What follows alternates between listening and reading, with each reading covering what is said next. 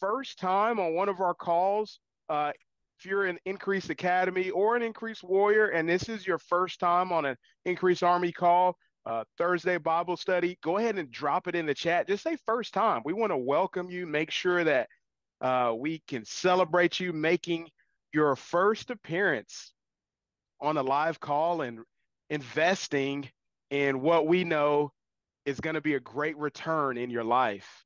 Uh, anytime we invest in our growth and our development from a spiritual level, it never returns void. It always prospers and accomplishes so much more than we can ask, hope, or think or imagine. So uh, throw it in the chat. We want to celebrate you and, and congratulate you for jumping on. And uh, it's going to be a fun day today, right, Trav? Dude, I'm excited. These have been fun. I've really, I'm going to just keep doing these. So y'all keep coming, yes. perfect. Because uh, I'm going to keep doing it. Yes. Yes, we want you to keep doing it, man. I'm enjoying it. I look forward to Thursdays, whatever time zone you're in. Where I'm at, it's 10:30 Central, but I look forward to these times uh, because I know in my schedule there's things that I've built in that help keep me aligned. They're they're all they're just like guardrails. You know, I'm I'm moving towards the goal, but sometimes I know human nature, we can get off at times.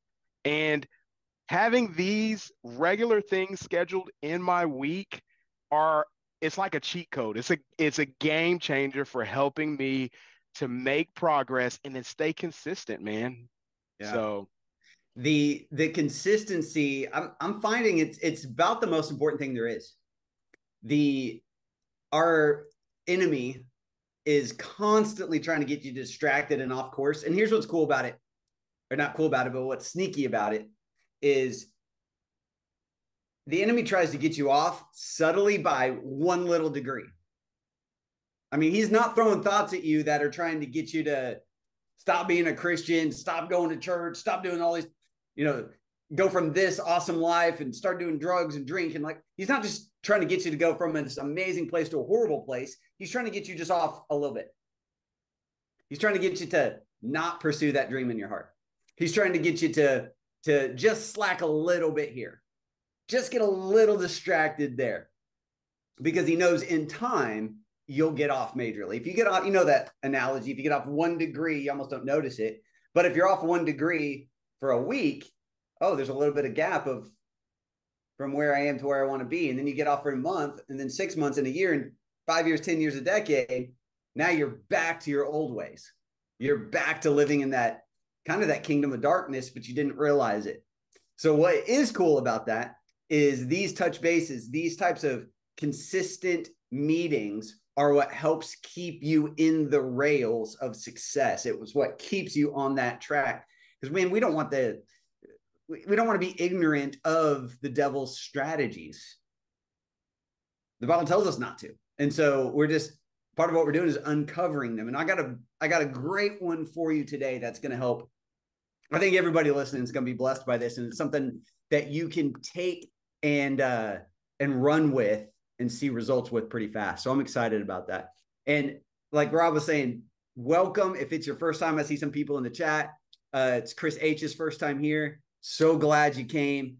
Um, you know, Elizabeth, welcome. Super fun. The uh what we do here is is we believe that we are God's people and he's called us to win. He has not called us to average. He has not called us to mediocrity. He has not called us to just survive while we're down here. And the only prize is when we go to heaven. That's a part of it, but that's not the only thing. So what we do here is we teach God's word and his principles that show us how to win now and later. And defining a win is moving the needle for the kingdom.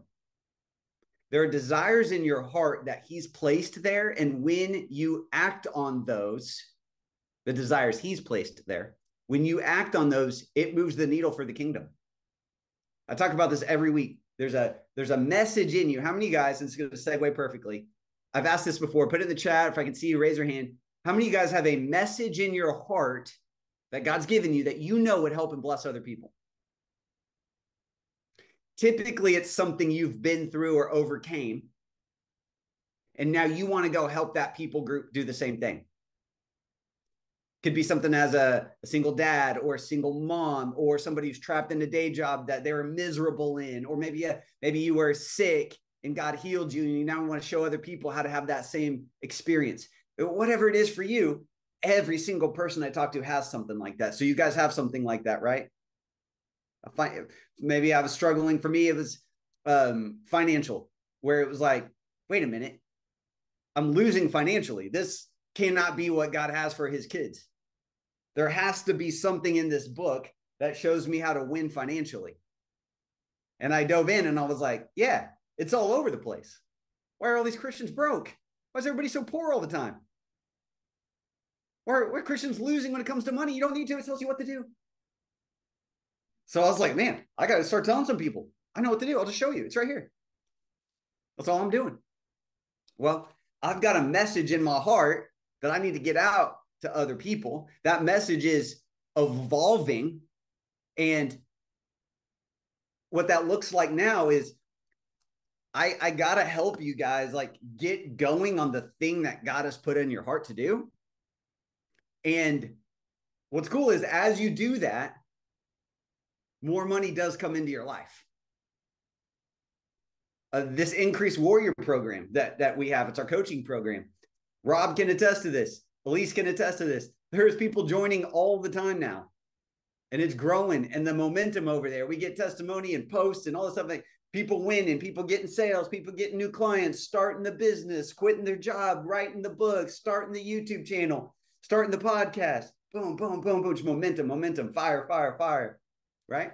Well, it's because they're learning these things. It's not that they necessarily learned some genius business strategy, it's because they learned what this said. And then they started to believe it. And then they started to take actions like they believed it. And then they started getting the results God said you could have. And so, my job and mission, Rob's job and mission, the other coaches that are on here, our job and our mission is to get you to move is to get you to take action. Now, let's dive in and let's go to Romans 5 1. Actually, before we do that, let me grab. Guys, and why Travis doing that, I want to encourage you get something to write with.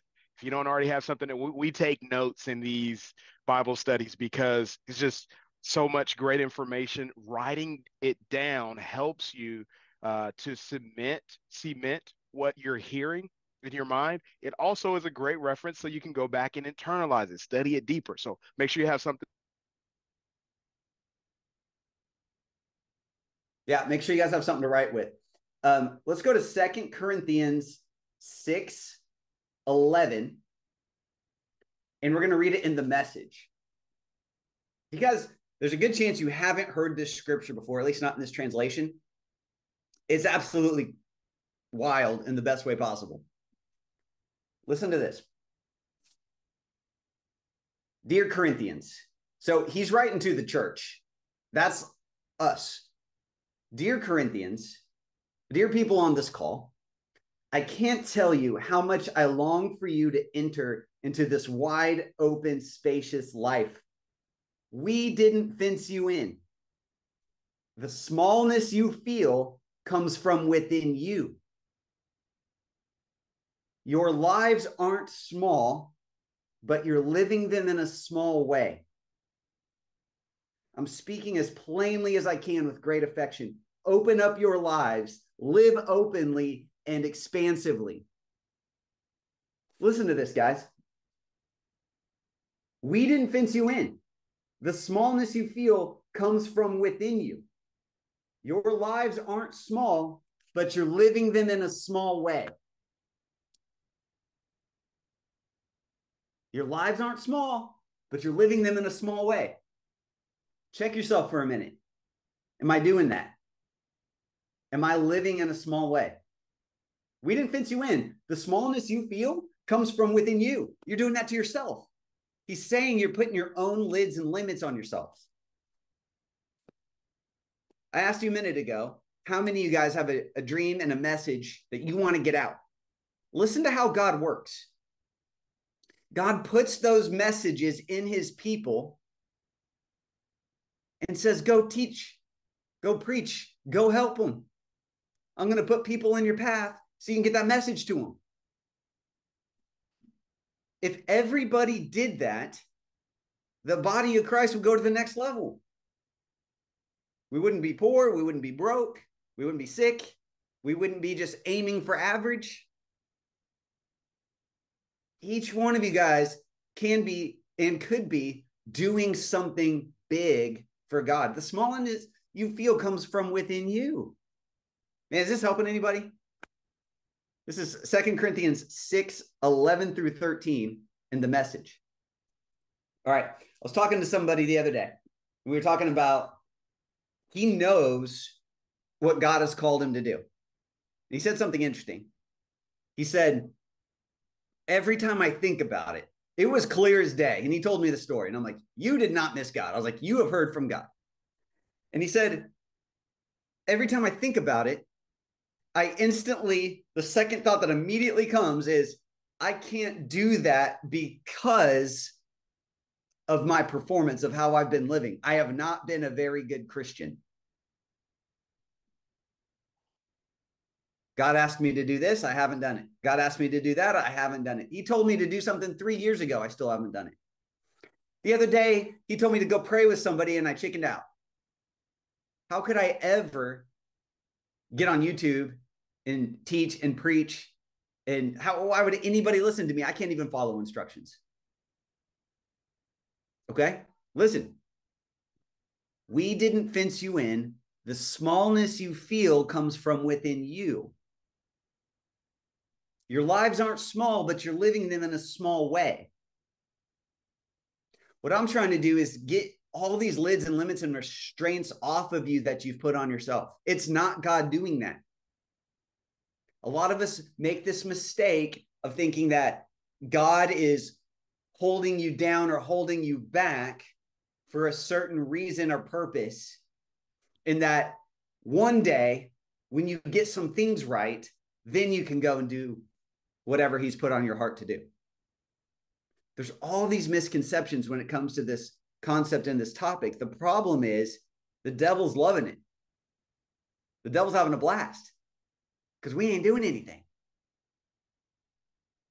Have you noticed that all the people who are making the, the giant companies, the Jeff Bezos, the Elon Musks, all these guys who have the, they're kind of uh, Bill Gates, Steve Jobs back in the day, kind of on top of the world, right?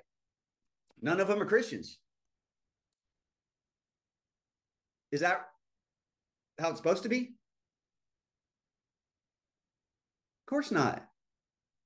No. Why are they doing big things and we're not? Can anybody put in the chat? Any guesses? Why are these titans of the industries not Christians? Why are they winning and we're not? Put a guess, put some guesses in the chat for me. This is important.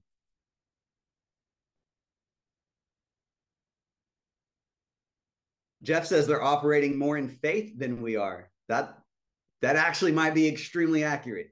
Yes. Sarah says Christians struggle with deserving, deservedness. 100%. What else? Any other reasons? Better strategy? Eh.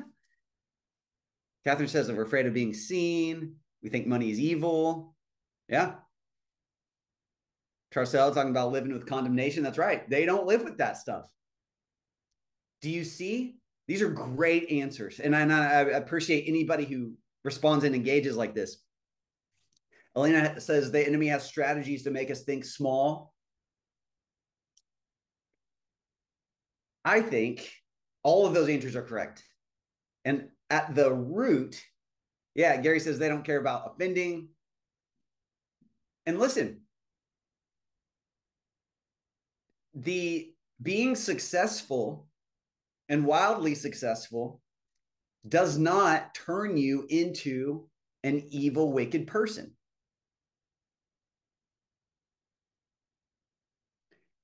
Success and money is just going to magnify who you already are.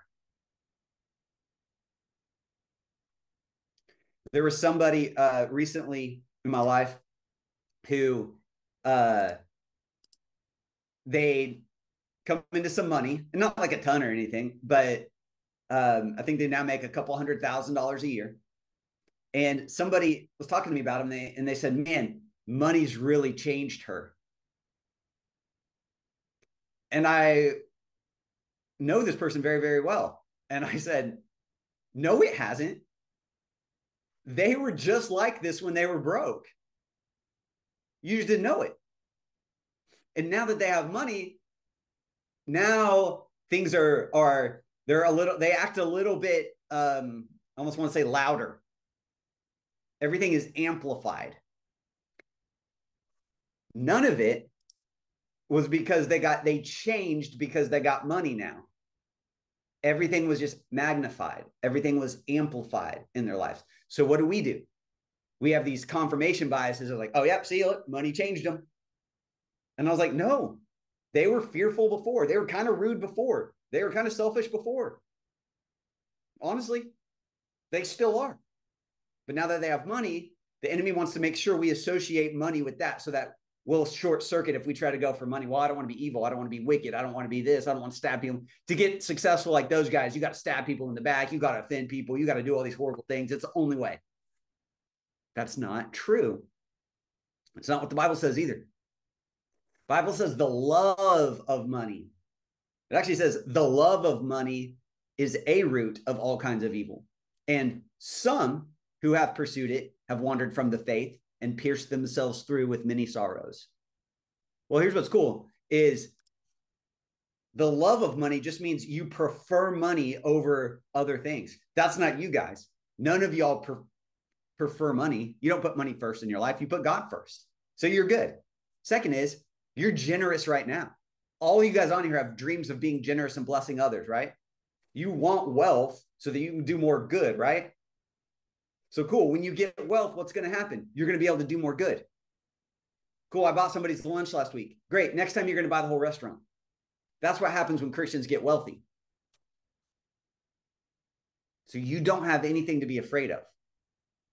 Let's get that off the table. And that only comes off the table if you take the time to get it off the table and to weed it out.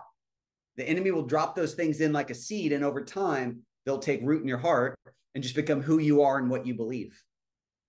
And that's why a lot of Christians are just doing mediocre and okay things in life.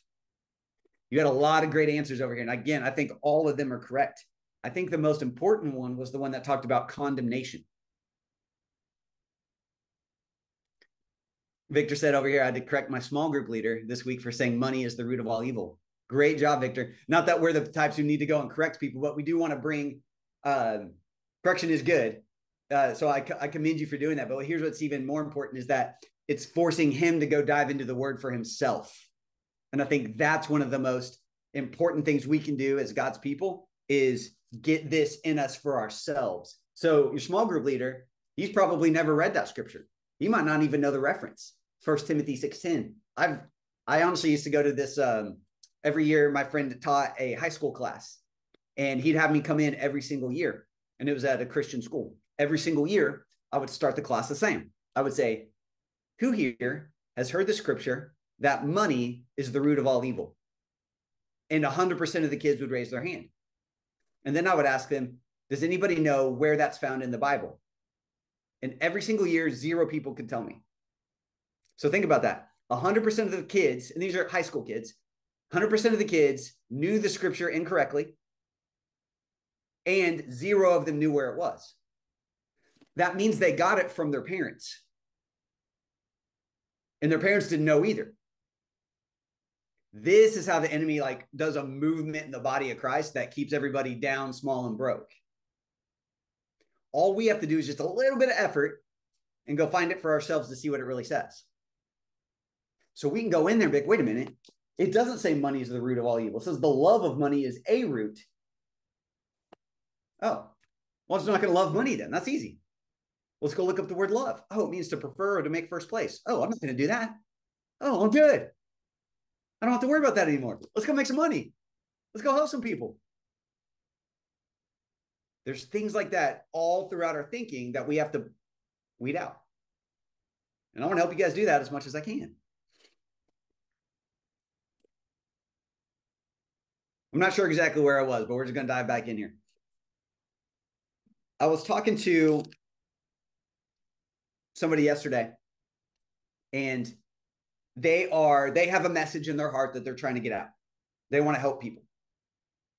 And one of the best ways we can do that is for anybody on here. One of the best ways we can do that right now is through posting on social media, Facebook and Instagram. It gives you a place for you to teach what God's put on your heart, right? And we all have access to it. You can even be kind of like practice grounds. You might only see one or two people see it or respond to it. Perfect. You helped two people today. That's pretty cool. God got to use you and you taught them something. Just a little message on your heart. Could be short, could be long, doesn't matter. Could be a video, could just be type. Could just type it out. Well, I was talking to him and he's got an amazing message on his heart. And, you know, I'm giving him a hard time because I'm like, hey, man, let's do something with this thing. Did you post something today? Did you get something out there today? And he said it. He, he started off strong. He kind of had this thing where he's going to post every day. He started off really strong. And he had an issue where it was just kind of like, man, I'm starting to overthink it. Uh, I didn't post anything today or yesterday or the day before. So I'm like, what's the point? Like, who's listening to this?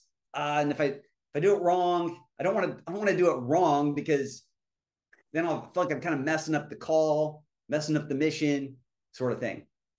And we started talking about it, and God led me here to Romans 8 1. And you've heard this before, but I don't think we take it and make it real to us when it's like, wait, this applies to me. It says, it's so simple. It just says, so now, right now, there is no condemnation for those who belong to Christ Jesus. Do you belong to Christ Jesus? Who in here belongs to Christ? Both hands up for me. Okay. Guess what? There is now, this second, no condemnation in your life. Zero.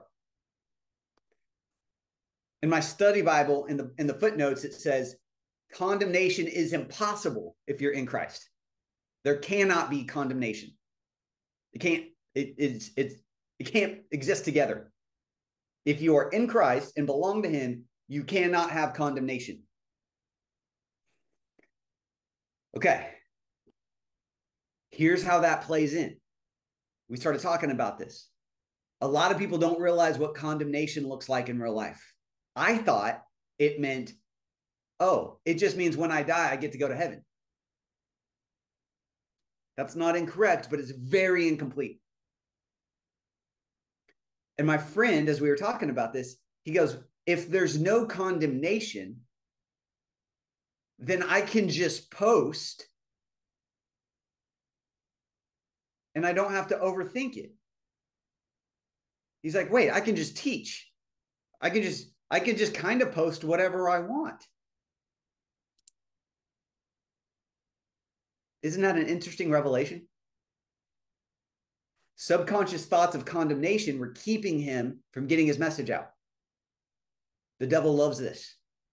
The devil loves, here's what he loves, guys. I, I have an email going out about this later today. So check your email. I go a little bit more in depth in this, but listen to this. The devil loves it when Christians are afraid to make mistakes. You need to write that down.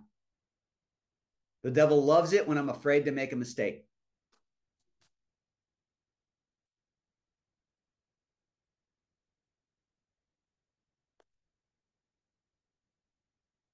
A very common question I get. And I I don't condemn anybody. I'm not mad at anybody for making these having these questions and comments. I want you to have them so we can fix them, so we can root them out and replace them with God thoughts.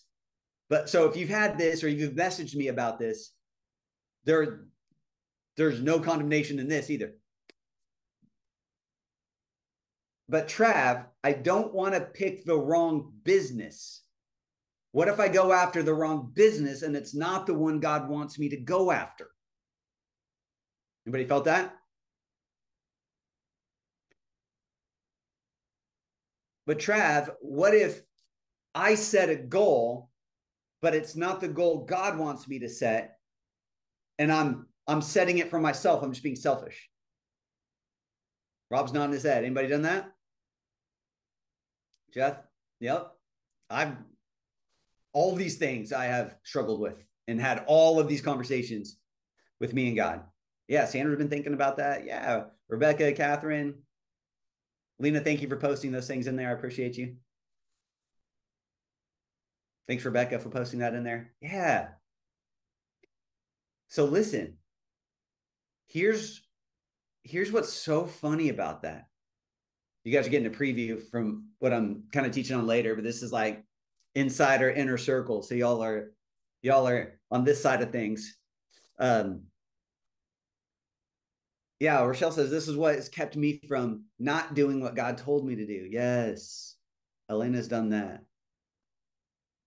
Tarcel's done that. Sometimes that's why I don't do anything. Yes, that's exactly what I'm talking about in in my uh teaching later today. So again, check your emails. Make sure you check your emails. It's gonna be a good one. So listen, the devil loves that.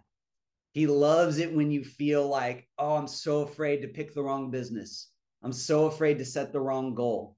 I'm so afraid. What if I do this and it's the wrong one? It's not the one God told me to do. Oh, what if I what if I pursue this thing, but God didn't want me to pursue this? He wanted me to pursue that.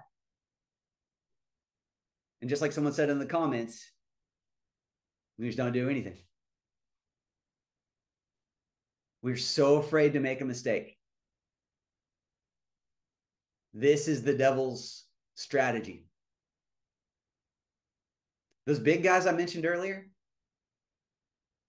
Jeff Bezos, Elon Musk, Bill Gates, all those guys, they just go for it because they don't have a fear of making a mistake and having God displeased with them. This is going to set you free in about 30 seconds from now. Why are we afraid to make a mistake by picking the wrong goal or picking the wrong business? Or what if I pursue this thing, but it's just me being selfish and God actually wanted to do, me to pursue that thing? We're so afraid to make a mistake because we're afraid it's going to displease God, that He's going to be disappointed in us, mad at us, sad at us, bummed out at us, resentful, maybe. So listen, we're afraid to displease him. So out of fear, we do nothing.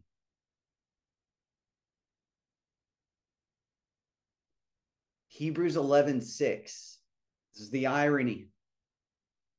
says, without faith, it's impossible to please God.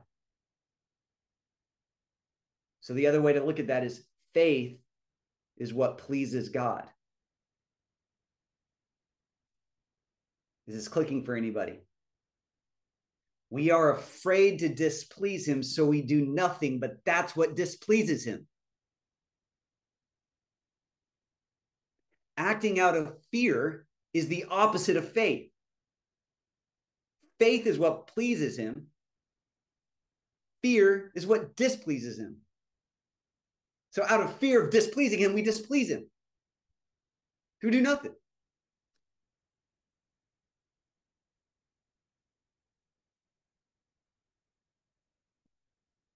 to set anybody free? What this does, thank you, Charcel, appreciate you. What this does is this gives you permission to go for it. This gives you permission to go all in on it.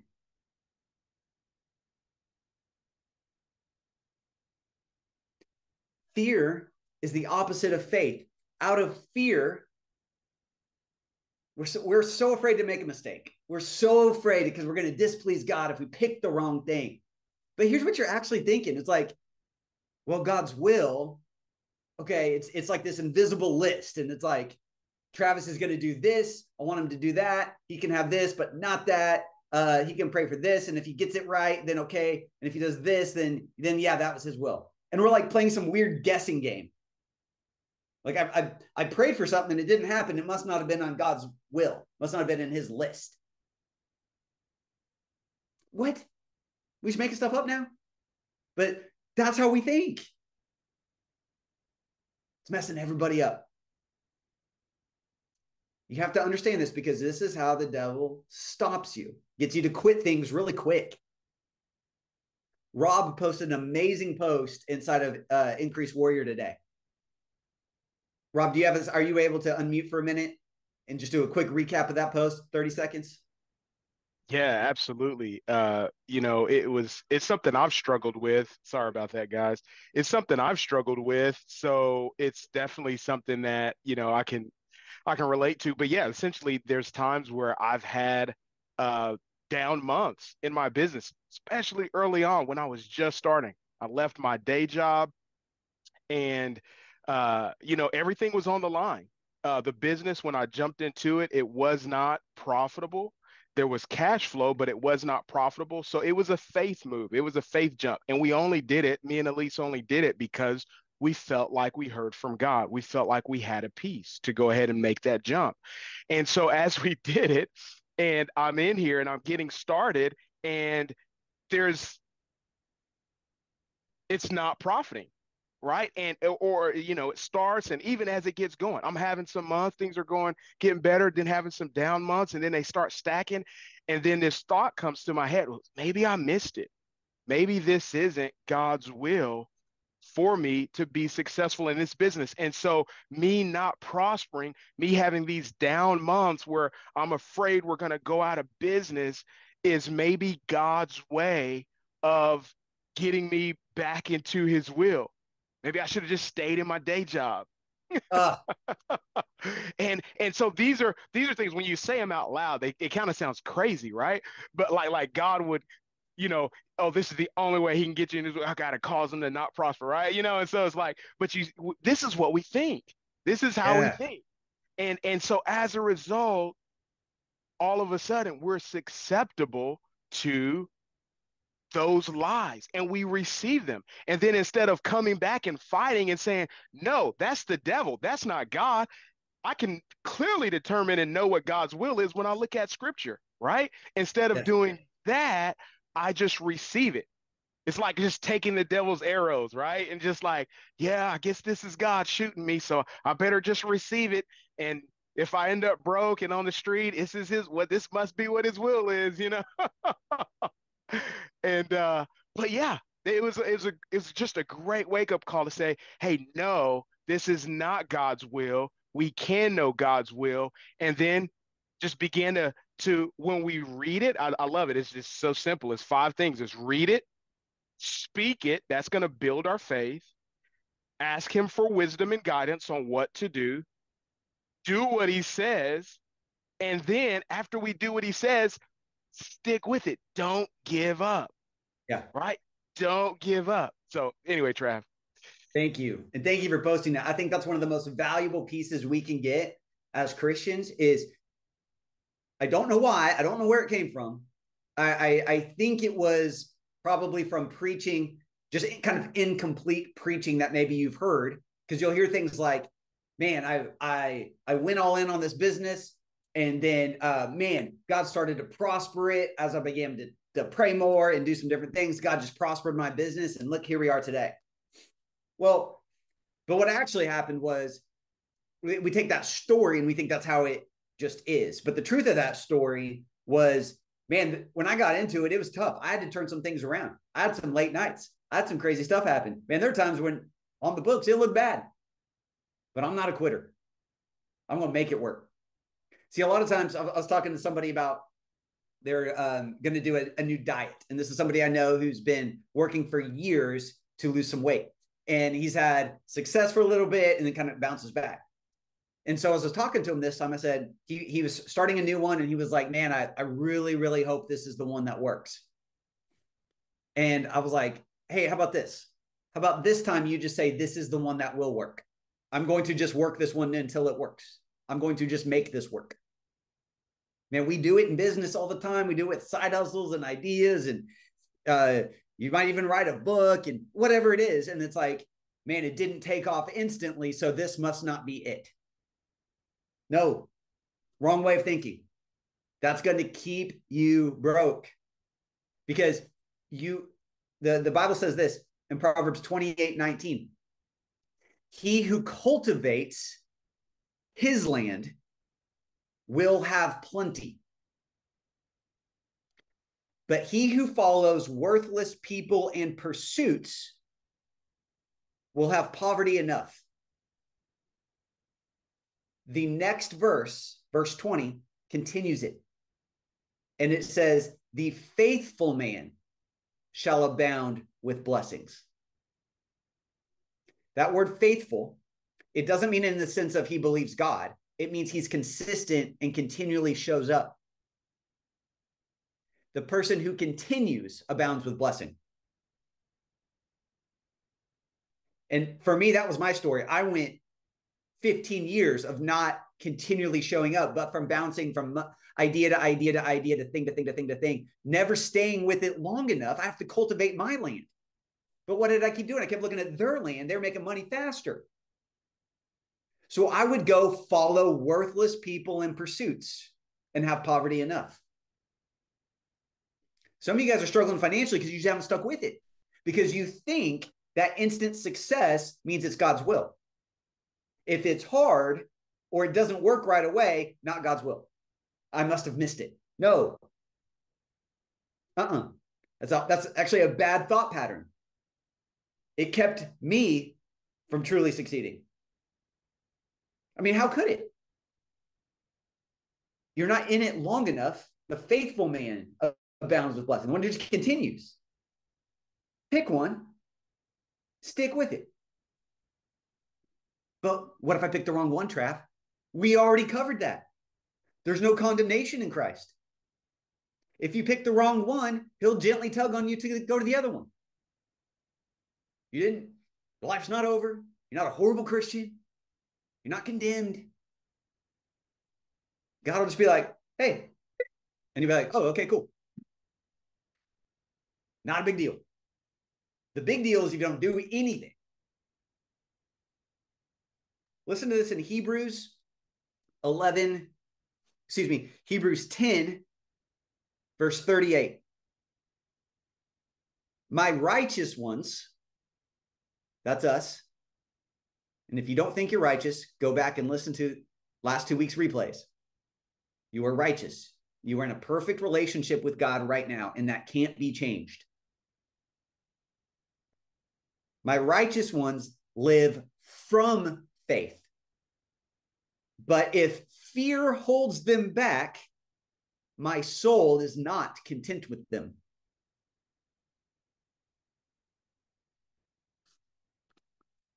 Let's listen to that. That was in the uh, Passion Translation. The New Living says, My righteous ones live by faith, and I will take no pleasure in anyone who turns away. The other translation says, I take no pleasure in anyone who shrinks back out of fear. My righteous ones live from faith. Remember, that's the opposite of fear. My soul takes no pleasure in those who shrink back out of fear. Man, we've been doing a lot of shrinking back, a lot of turning away, a lot of pulling out, a lot of quitting. Because of the misconception that if it's not instantly successful, then I missed it. And this is God's way of getting me back. I shouldn't have never quit my job. I should never have gone for this. It's like, yo, guys, guys, uh-uh. If it's hard, and look, it's there's gonna be hard, there's gonna be hard times. That's that's okay. Like, you don't even have to really give him a ton of attention if you keep your faith built up. If you keep coming to stuff like this, if you follow the instructions that we that we teach you, like a lot of what we teach is just how to keep your spot in a place where your your faith in a place where it's up and so no matter what happens to you, you're not fazed. This, this bulletproof life, this unfazable life, it's a lot of what we teach here. I'm looking at people in this room who have learned to implement this Rob's one of them. Joy's one of them. Sharon's one of them. Andrew's one of them. Jeff Finley, Fields, all these guys in here. Sarah, Gary. They're building. Vivian. Vivian's down there crushing the game. She's having like $50,000 months and stuff. I mean, hope, hopefully you don't mind to share that. But she's doing crazy, awesome stuff for God out of boldness. She's a righteous one living from faith. She doesn't shrink back when things get tough. She's a faithful woman. She abounds with blessing, man. She continues in. I'm impressed with you guys. You guys are doing great. What you have to see is the things that we're afraid of are, are false. The things that we're afraid of are lies. And those lies are causing us to take actions that don't get us anywhere. We're believing lies. And here's how the de- here's how the devil works. Like I was saying, they're always subtle. They're subtle lies. Hey, you don't want to be afraid to miss it. Like you, you don't want to pick the wrong thing because we have this nature, this viewpoint of God's nature that's incorrect. Like he'll be mad with us, displeased with us, disappointed in us, that we're bad stewards. No, what? That's not his nature. All it talks about in here is how much he loves us. This is nothing can separate you from his love, not even picking the wrong business. Nothing can separate you from his love, not even picking the wrong thing to pursue or setting the wrong goal. Like it talks about like hell and demons and Satan can't separate you from his love. Yet we're over here like, oh man, I hope I don't pick the wrong goal or the wrong business. And what's God gonna think? He's like, yo, what? I'm leading you, I'm guiding you. You have that idea and that desire for that business, and it's stuck with you for five years, 10 years, 15 years. That idea for that ministry, that idea for that book, that idea for that podcast. It's a reason it's been sticking with you for so long. It's because God's trying to get it out. You guys know that God can't do a podcast, right? You guys know that God can't write books? God can do anything. No, he can't. He can't lie. He can't change. He can't actually go start a business. He can't actually start a ministry or an orphanage. He has to use you guys. You got to go write the book. He'll give you the, he'll tell you what to write, but you got to go do it. Right here, here we think of it as kind of corny now, but like we're the hands and feet of Jesus. It's pretty accurate. You know who else uses people? Satan. It's the same flow. Drops an idea or a thought. You get the opportunity to accept it or reject it. If you accept it, you start to believe it, and then you take action on it. God works the same way. Drops an idea, drops a thought. You start to think on it. You get to choose to accept it or reject it. If you accept it, it starts to change who you are, and your actions reflect that. Start taking action steps.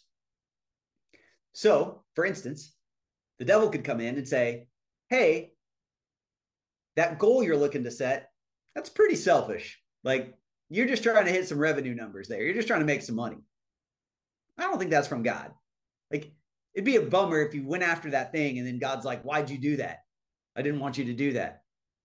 Oh, you start thinking on it and you hear this other story of somebody else who you think was evil because they made all this money. And then you're like, well, I don't want to be like them. And then, you know, they, they had a horrible life and their marriage was strained because he went and tried to make money. I don't want to do that. And then it starts to get in you, start thinking about it weird. And then it's like, ah, and you don't take any actions. And the devil's over here just like, that was easy. All right, next. Let me just let me just tell all the Christians that's how it works, and then don't do anything. But God's up here like, hey, hey, hey, hey, don't shrink back. I take no pleasure in those who shrink back out of fear. My righteous ones live from faith. So if you want to please God, you actually take faith moves, not fear moves. You guys remember in the parable of the talents? Matthew 25. Who was the one that was called wicked, lazy, and evil? Put it in the chat. In the parable of the talents, who was the one that was called lazy, evil, and wicked? Andrew said the one that did nothing. The one who hid the money and played it safe. Yep. The one who did nothing, the one who did nothing, the one who did nothing.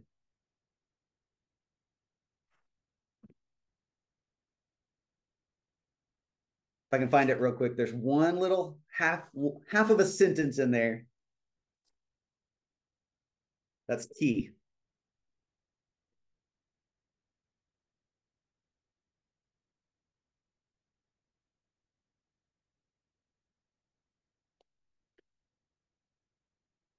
The one who was called, but think about those words that the master called him wicked, lazy, evil, slothful.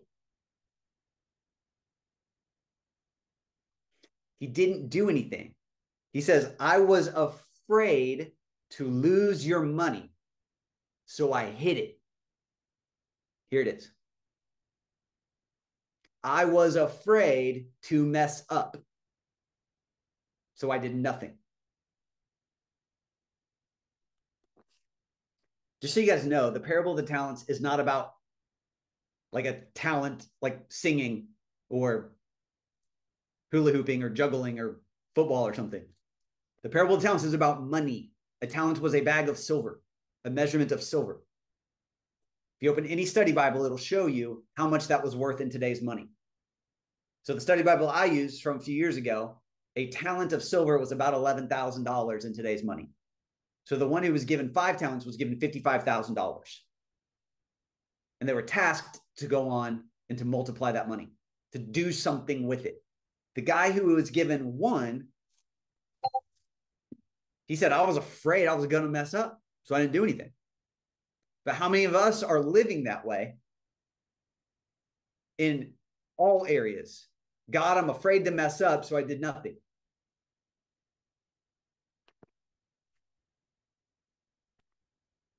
Why are you afraid to mess up? Because you haven't had the revelation of righteousness yet. That's what we've been talking about this whole month. I'm going to read you one more scripture, maybe. And I want to get this in you. And then if you guys have any questions or anything you want to talk about, put it in the chat. Okay. Listen to this. This might be the fourth time you've heard it from me. Listen again. Write it down if you haven't. Romans 5 1 and 2 in the Passion Translation. It puts it so well. Do you guys remember? Who remembers the definition of righteousness? It's actually a perfect relationship with God. When you hear the word righteous or righteousness, you can substitute it with a perfect relationship with God. Verse 1 says, Our faith in Jesus. So that's the prerequisite. That's the condition. You have to do that part to get the next part. Our faith in Jesus transfers God's perfect relationship to us. And he now declares us flawless in his eyes. But I'm so afraid to mess up. No, he declares you flawless in his eyes.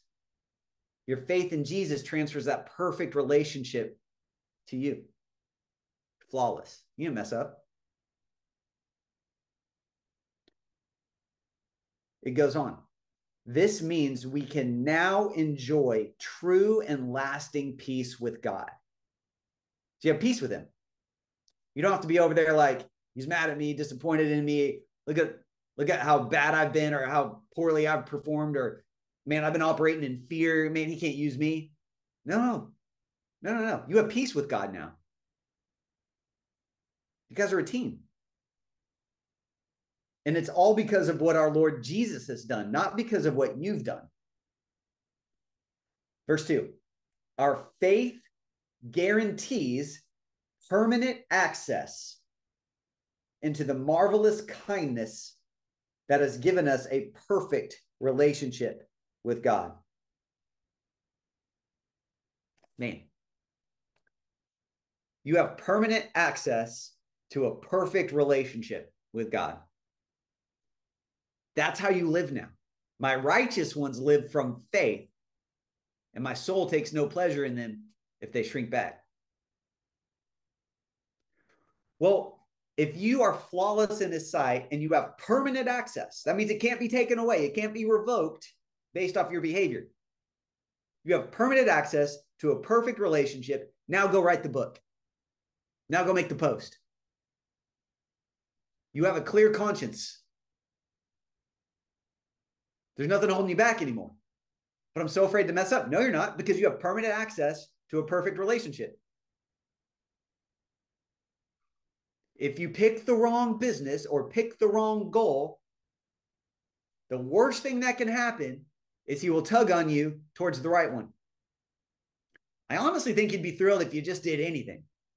If you just picked something and took a step. If you just opened up a Google Doc and outlined the book you've been wanting to write. Just take 20 minutes and outline the book. Go watch a YouTube video on how to start a YouTube channel. Just get a little bit of that knowledge you need. It's out there, it's free. Nothing holding you back. You got big question marks, so you haven't started it. If it's a podcast, go watch a YouTube video, go search how to start a podcast, and then go do what it says. There's no condemnation in Christ. You have permanent access to a perfect relationship. What are you afraid of?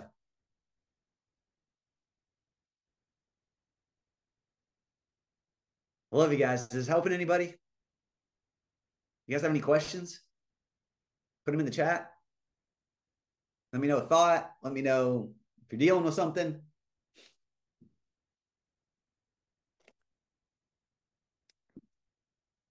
Catherine says it's helping. Lena says a perfect relationship. It's humbling and mind